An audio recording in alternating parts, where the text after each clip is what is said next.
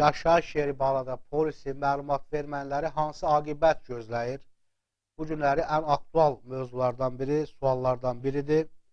Bu qanunun tətbiqi çox problemlidir. Birincisi ona görə ki, qanun birbaşa vətəndaşların ölkə ərazisində hərəkətinin məhdudlaşdırılmasına əsas yaradır. Bunu Qaynar Infoya açıqlamasında vəkil Əkrəm Həsənov yaşayış yerindən kənarda 60 gündən artıq qalmaq istəyən vətəndaşların 7 iş günü ərzində polisə məlumat verilmədiyi təqdirdə 30 manat cərimə olunacağı ilə bağlı məlumatın hüquqi tərəflərini açıqlayarkən deyib. Vəkil bu qanuna ehtiyac olmadığını deyib. Bu qanun çoxdan var, amma icra olunmur. Vətəndaşlar olduğu yerdə qeydiyyata durmur, dövlət də heç bir tədbir görmür.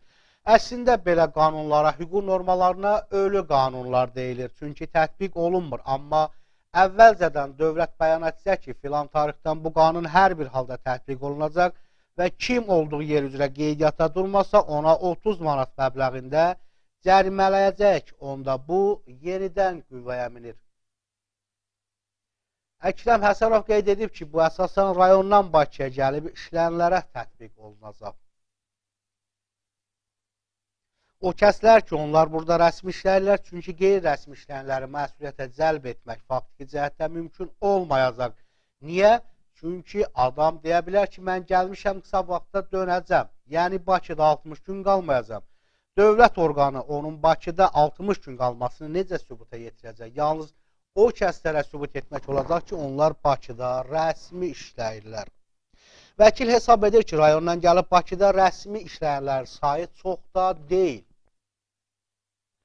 Əgər vətəndaşlar Bakıda qeyri-qanun işlər və bunun özü də qanun pozuntusudur, əksər vətəndaşlar Bakıda qeyri-qanun işlər və bunun özü də qanun pozuntusudur. Bu baxımdan belə pozuntu sayları çox olacaq.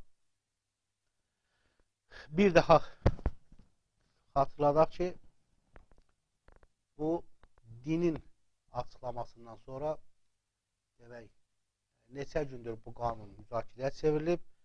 Ötən gün Daxili İşlər Naziri Mətbuat Xidmətinin əməkdaşı polis baş leytenantı Nurlan Əliyev məsələ ilə bağlı açıqlama verib. Din rəsmisi bildirib ki, şəxsin olduğu yer onun yaşayış yeri sayılmayan müvəqqəti yaşadığı mehmanxana, sanatoriya, istirahət evi, pansionat, kemping